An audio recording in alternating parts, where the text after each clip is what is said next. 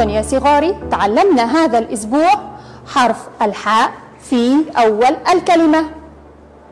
عنده ذراع وحرف الحاء في نهاية الكلمة. لا يوجد عنده ذراع. هيا نكتب حرف الحاء في بداية الكلمة. من أين أبدأ يا معلمتي؟ من هنا من أعلى. هكذا. أبدأ من هنا. ثم أنزل على السطر. ثم أمشي. هكذا. ح. هيا أكتب حرف الحاء في نهاية الكلمة. أبدأ من هنا. خط قصير. ثم أنزل بنصف دائرة. هكذا. ح. ح. مرة أخرى. ح. ح. أحسنتم يا صغار. عندي لعبة جميلة. هيا نلعب بها. ما هذه الصورة؟ إنها حمامة حمامة أحسنتم أين أضع الحمامة يا صغاري؟ حمامة انظروا هنا إلى حرف الحاء هل في بداية الكلمة أم في نهاية الكلمة؟ أحسنتم في بداية الكلمة. عنده ذراع. أين أضعه؟ هنا أم هنا؟ أحسنتم يا صغاري هنا. ح حمامة هيا نضع عليه دائرة. ح حمامة هذا حرف الحاء في بداية الكلمة. ح حمامة أحسنتم يا صغاري هيا نأخذ صورة أخرى. ما هذا؟ إنه يفتح الباب إنه مفتاح مفتاح أين حرف الحاء؟ في بداية الكلمة أم في نهاية الكلمة؟ لا إنه يوجد في نهاية الكلمة منفصل هنا هنا أم هنا؟ لا نضع هنا مفتاح هيا نضع عليه دائرة جميلة مفتاح أحسنتم هذا حرف الحاء معي صور جميلة جدا ما هذه؟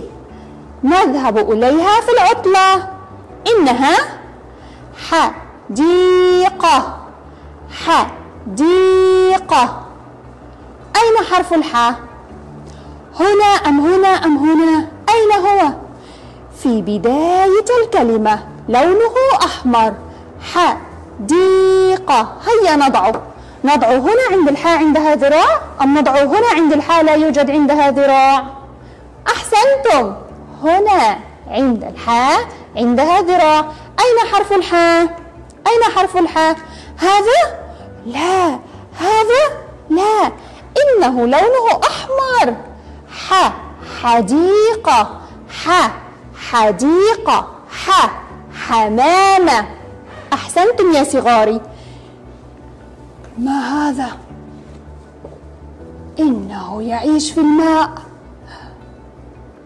أحسنتم تمساح تمساح أين حرف الحاء؟ في بداية الكلمة أم في نهاية الكلمة؟ أحسنتم في نهاية الكلمة أين أضعه؟ هنا أم هنا؟ لا يا معلمتي نضعه هنا في نهاية الكلمة ونضع عليه دائرة. هكذا. أين حرف الحاء؟ هذا. هيا نضع عليه دائرة. إذا يا صغاري تعلمنا حرف الحاء في أول الكلمة وحرف الحاء في نهاية الكلمة. أحسنتم. أيضا يا صغاري هذا الأسبوع تعلمنا أصوات حرف الحاء.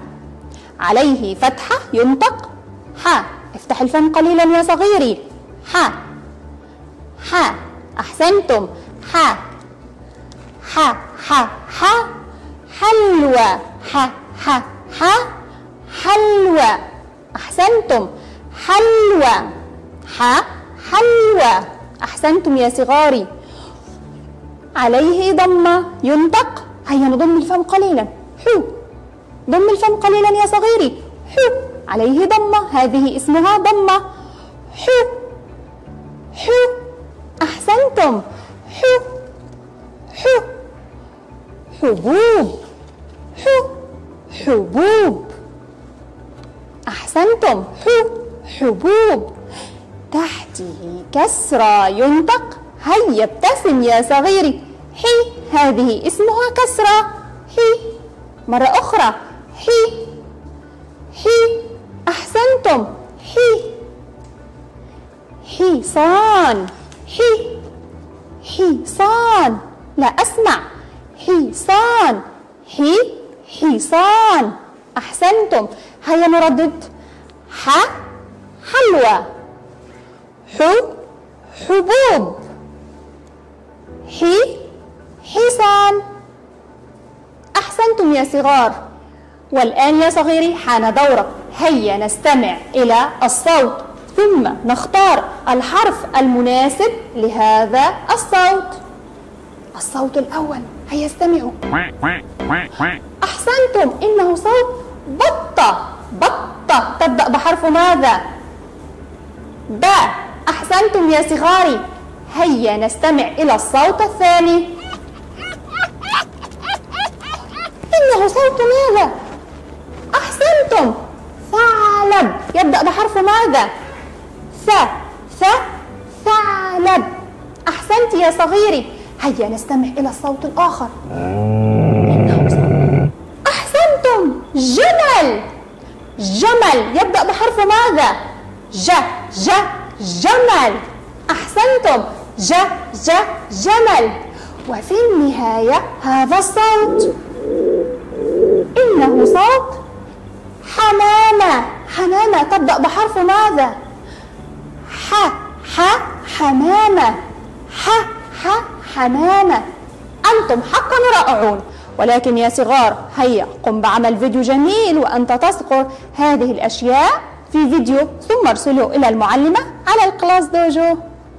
حتى تحصل على نقاط كثيرة وأيضا تحصل على هذه الشهادة. دمتم في أمان الله. مع السلامة.